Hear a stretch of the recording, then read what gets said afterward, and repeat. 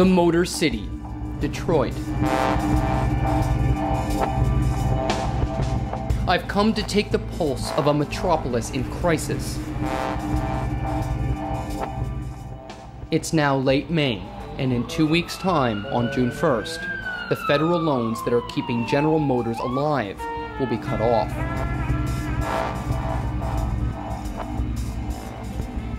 I will not pretend the hard times are over.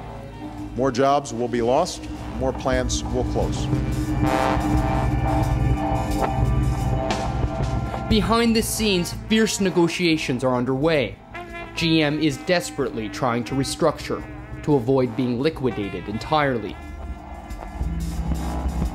GM has to succeed.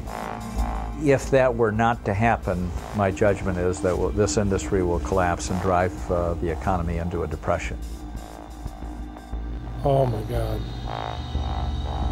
That would be just just devastating.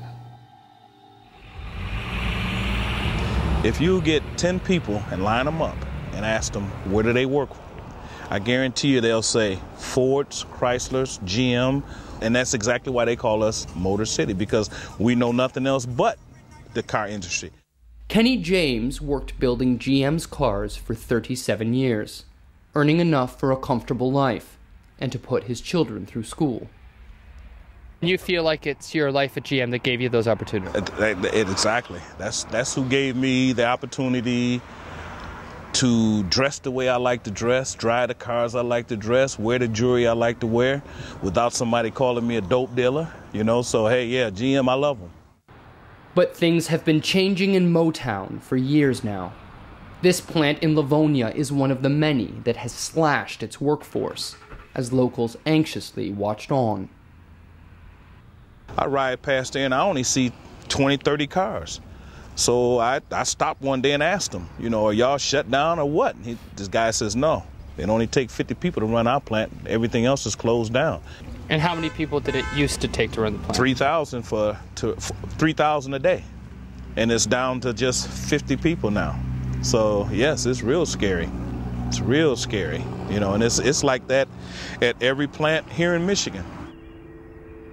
And with that decline in the auto industry, there's been a slow and grinding decay in Detroit. The once grand city is falling apart.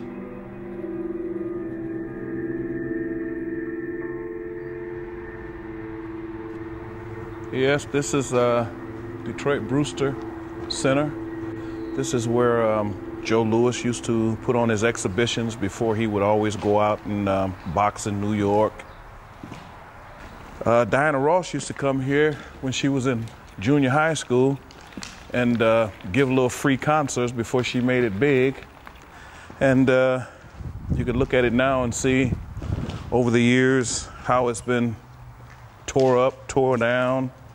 Um, it's kind of unsafe being in here, but uh, we're taking a chance on walking the floors.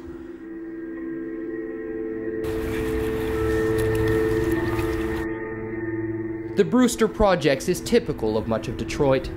From these dilapidated remains, it's hard to imagine the city's former glory. This is your building, huh? Yeah, lived here for about three years.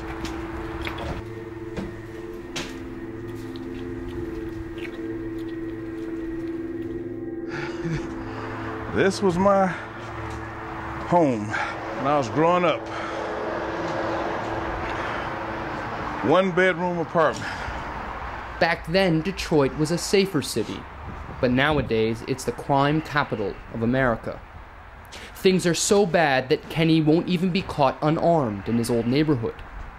Today, he's got a 357 Magnum strapped to his hip. When I was coming up, you could actually walk around the premises late at night. Nobody would mess with you. They speak to you. Um, it was real pretty, real pretty area.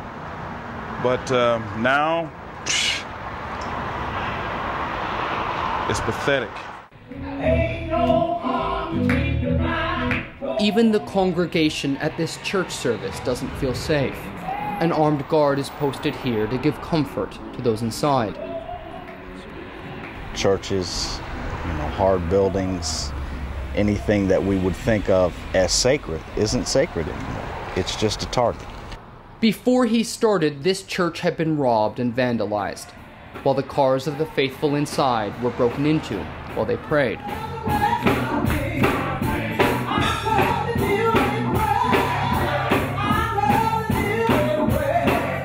This is the toughest time I've seen since I've been here.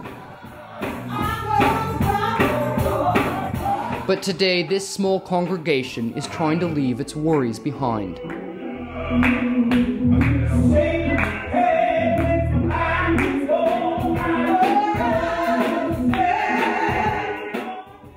I don't think it's any different than anywhere else that when time does get tough, sometimes you have to remind people uh, to have faith because, uh, you know, nothing tries your faith uh, more than times like these. Jimmy Parker was an auto worker before becoming pastor, and he has both past and present GM employees among his flock. With the June 1st deadline one week away, he understands why many here will be angry with GM if they throw in the towel. When uh, a company, when it seems as though they're turning their back on you, it does hurt. It does hurt because you put so much into it. We created the R&B, the auto industry. Like we gave some of the best things to this country alone. I'm from Detroit City where the real hustlers are from. Let's go. She like to, she like to shake it. Under the stage name Gift, Curtis Reynolds is continuing Detroit's other great tradition music. I'm ecstatic to honestly say that I'm even from Detroit. Like, to even say that name, I actually wear it on my hand because I'm so proud of this city, period. And just because we down right now, that mean that that mean that that name got to go away. Like I don't think so.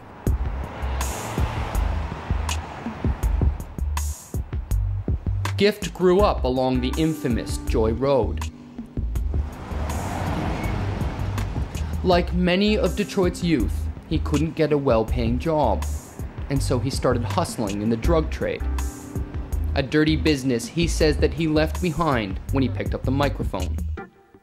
We call this the Murder Mac, and this is like one of the most notorious spots on Joy Road. It's a lot of shootouts, a lot of just like crazy shit, so to speak, happens like right here.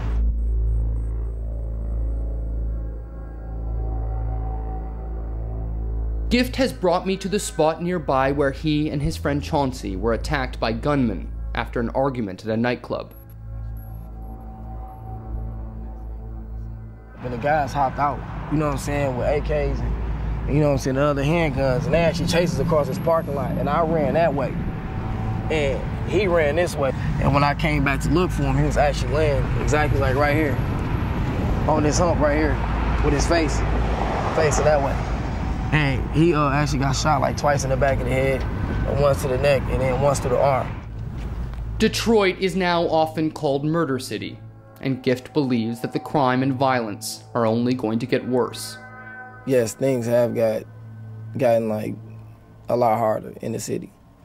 Whether it's because people losing their jobs, it's it's like a it's a war every day just off of that, just off of unemployment. A major reason for the crime and violence here is the fact that unemployment is already at 12% and climbing, the highest of any city in America. As the largest car manufacturer, General Motors is key to Detroit's future because for every job on the factory floor, there can be nine others out in the community supporting the plant. Suppliers, dealers, even restaurants here are all dependent on the auto industry. And if GM collapses completely, the results could be devastating. Joanne Patterson was laid off in 2001 from a paint manufacturer that supplied the big three. And ever since, she's been in the revolving door of industry downsizing. You might not be able to get back with Ford, Chrysler, General Motors, but you're working at a job shop that makes parts for Chrysler, General Motors, Ford. They start downsizing, so you end up back out. Then you go back into another manufacturing kind of industry, and same thing happens. It's a repeat because of the economy. Everything is going downhill right now. Despite eight hard years caught in the city's economic slide, Joanne believes that Detroit now has the chance to reinvent itself and the spirit to do it. Things are just going to change because you can't have everything the same way indefinitely. Nothing lasts forever. So, along the way, we will have to change. Well, for the auto industry, this is not a recession, it's an absolute depression. Dave Cole has spent a lifetime as an engineer in the auto industry, and he's now the director of the Center for Automotive Research. If we had a recession, we would have 13 to 14 million units of sales. We're less than 10 million now. And so uh, the industry has really experienced a calamitous impact from this uh, uh, depression like environment that we're in. And what it's doing is prompting some major restructuring.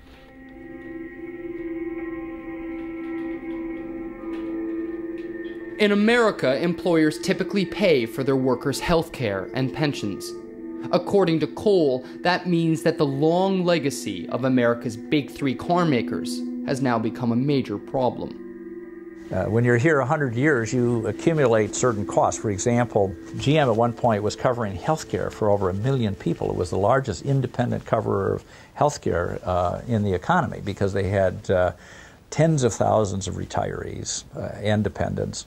And what the big three had then is roughly a $2,000 competitive disadvantage compared to the internationals that were building cars here because they were new, new factories with relatively new people and basically no uh, retirees. So it was kind of like running a race where uh, you're running to get somebody that has uh, track shoes and a track outfit on and you're wearing galoshes and you're carrying a bowling ball.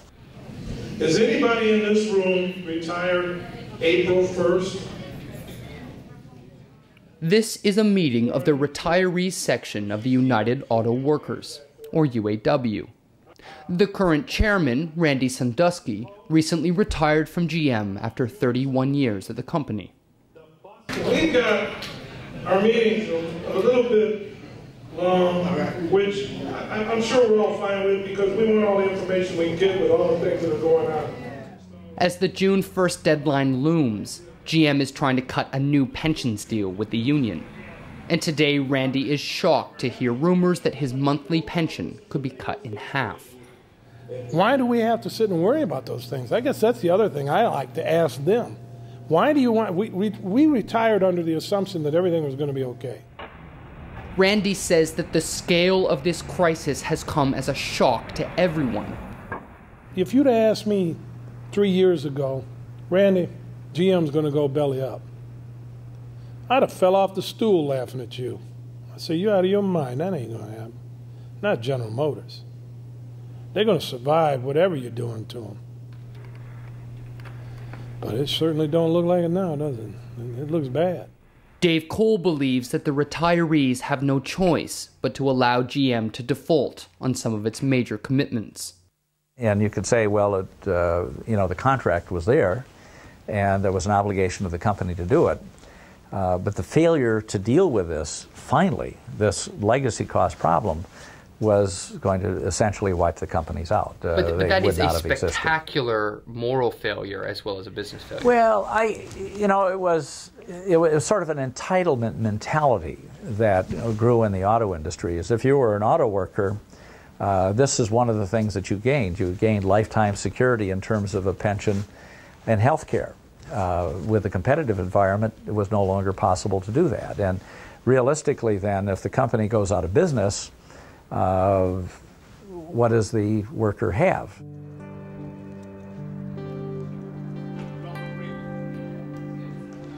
A few days later, union members are back again to vote on the finalized deal.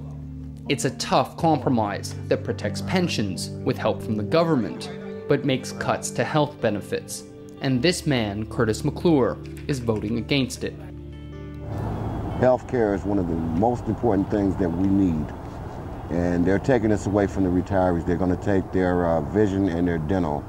So that was one reason why I actually voted no on it. Curtis is acutely aware of the value of GM's healthcare coverage. He worked at the Livonia engine plant for most of his life, when in 2001 he was hit by a drunk driver and seriously injured. And thank God to uh, my health care coverage, they were able to come in and, and provide me the best care I ever had in my life. And so I had the best of care, best of facility they had me at, and I was off for the three years. Curtis is deeply disappointed that coverage may now be watered down. That's going to be devastating. Health coverage is, is one thing that we all need.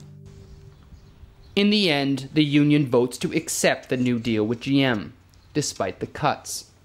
But no one seems very happy about the way things are going. Now, I normally don't let things bother me, but it's, it's, it's starting to kick in, whereas uh, I think it's going to bother me. It turns out the UAW deal alone will not keep GM afloat. With only three days until the deadline, GM is in negotiations with its bondholders, who will have the final say on whether the company will live or die. This is a sad situation, but I mean, I, I believe the union done the best they could with the, the pill that we got, and I even think GM tried to sit down and, and you know eat it up too, and figure it out. Even as the reality of GM's bankruptcy draws near, it's hard for people here to even contemplate it. Oh my God. That would be just just devastating. Terrible thing. Unacceptable. Heartbreaking. All the faith that I had in my lifetime in General Motors, I'd probably be willing to give it up for a nickel. And then for you to wait till I'm late in my life to where I can't fight back and then take it from me? I'm not going to like you very well. I'm not going to like you very well at all. The night before the June 1st deadline is a long one, and you can feel the tension everywhere in Detroit. In the morning, President Obama announces that the American government has effectively bought General Motors. Bankruptcy court is being used to save GM's most profitable assets and reforge them into a new GM. I am absolutely confident that if well managed, a new GM will emerge that can provide a new generation of Americans with the chance to live out their dreams. These are important steps on the long road to overcoming a problem. This means a cost of $50 billion to the taxpayer, 21,000 jobs lost, cuts to union benefits, and more than a dozen factories closed around America. They're already headed into a new dream, and we're done. So I mean, it, it just don't sound good. And I mean, the only thing that sounded good is we didn't hear anything about them taking our pensions from us. So my thing is, I I just got beat up by somebody I put 38 years in, you know. So I don't have nothing good to say right now. Then it's time for my last stop General Motors International Headquarters in downtown Detroit. In stark, almost surreal contrast to the somber mood back at the UAW, the feeling here could be called celebratory. It's, it's, a, it's a very interesting day. I mean, it is, uh, it's, it's, uh, it, it, it is difficult in some respects. I mean, we work so hard to, in fact, avoid having to restructure ourselves under the protection of a bankruptcy court. Um, but on the other hand, uh, it's in that hard work that we've discovered or rediscovered the incredible future that we can bring, that General Motors can bring to bear. GM's management is so optimistic largely because bankruptcy will allow it to shed some of the costly union agreements made over the last 30 years. They're pushing us out. They don't want us to be, you know, organized or smart enough to know what's going on. And if you are, you need to shut up. That's the way they feel about us. It was incumbent upon us to get this thing fixed so that we could manage them at their state of dependency, okay? I mean, the fact of the matter is, is the negotiations with the UAW, pensions are preserved. They're, they're not reduced, pensions are preserved. GM's honoring their pension plans is clearly a relief to many people I've met. But the highly valued health care will be paid out of a trust, which is hugely underfunded. Shares in the new GM will make up the shortfall. But if GM fails, so too will the retirees' health care. That's left many aging workers feeling that one of the most important promises ever made to them has now been broken. You know, and to those folks, say, look, we regret deeply the sacrifices that we all have to participate in. The UAW, um, certainly our dealers as we are trimming brands and, and models, certainly the communities where we're, we're announcing today the closure of plants, which are the you know, are, are, kind of the bedrock of some of those communities, and certainly to our own employees who will continue to make sacrifices as well. Those sacrifices will bring more pain to the city of Detroit. Whether GM had been grossly mismanaged for decades, or whether the unions had demanded too much for too long. There's nothing people here can do now but look to the future. So long.